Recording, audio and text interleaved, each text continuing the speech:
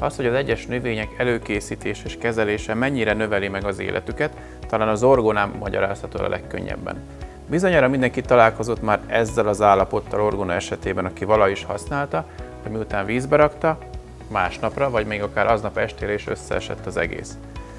Nos, most az orgona kezelését fogjuk kitárgyalni, hogy hogyan tudjuk a növény életét meghosszabbítani vágott virágként. A közönséges orgona, vagy májusi orgona, az a Syringa vulgaris, az olajfafélék családjába tartozó faj. A Balkán félszigeten őshonos növényt először a törökök küldették kertekbe, tőlük került a keresztény Európába. Alacsony termetű, természetes, nem gondozott körülmények között tövétől ágas lombhullató cserje vagy kisfa. Éves hajtás növekménye nem éri el a fél métert, így sűrű, kerekdett koronát fejleszt, taracjai révén azonban idővel sűrű sajttelepet képez.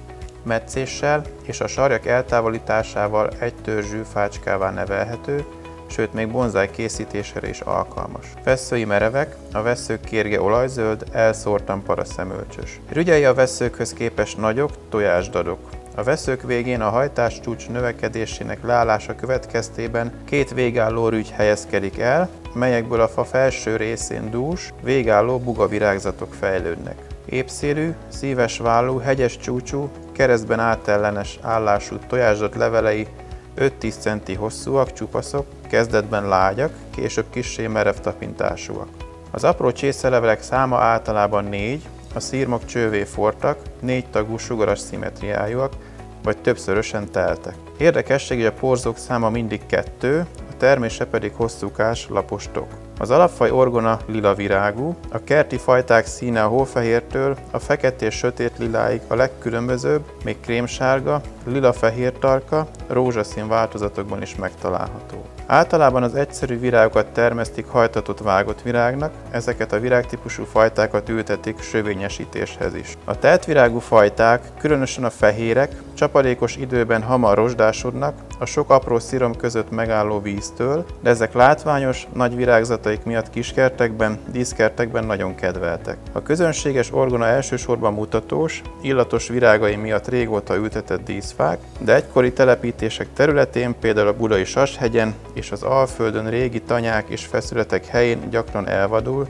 szaporodik és meghonosodik. Melegkedvelő, szárazságtűrő, fényigényes növény, kedveli a kissé messzes talajú területeket. Időjárástól függően április végétől május elejéig virágzik, ezért klasszikus anyáknapi virágnak számít ő is. Ebben az időszakban nagy mennyiségben, kötegelt formában találkozhatunk vele, amikor a virágzatokkal egy időben már nagy mennyiségű, sokat párologtató, friss lombozata is megjelenik. Ha sokáig szeretnénk élvezni az orgona virágzását és illatát, a helyes kezelése vágott virágként az, hogy a fásvesztőkről eltávolítjuk az összes lomblevelet, a szárát végig visszavágjuk, majd a megfásodott bőrszöveti részeket roncsoljuk.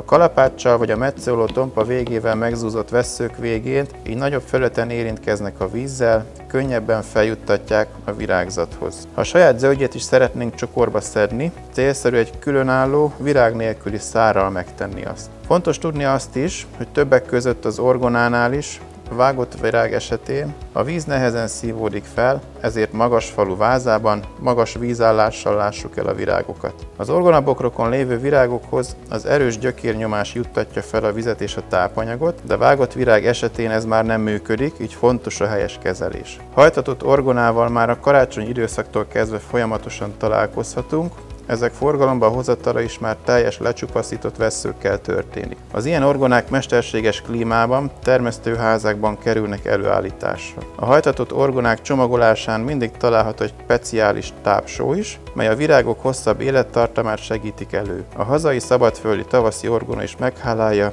ha vizébe plusz tápanyagokat adunk.